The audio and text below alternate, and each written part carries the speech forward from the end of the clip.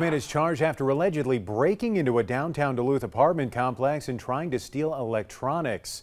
47-year-old Leland Lewis faces first-degree burglary charges. And police responded to someone breaking windows at 2nd Street and 3rd Avenue East Tuesday afternoon.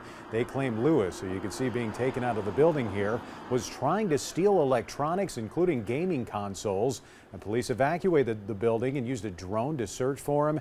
They found Lewis with a knife. He was allegedly not cooperating, so officers ended up tasing Lewis and then arresting him. Minnesota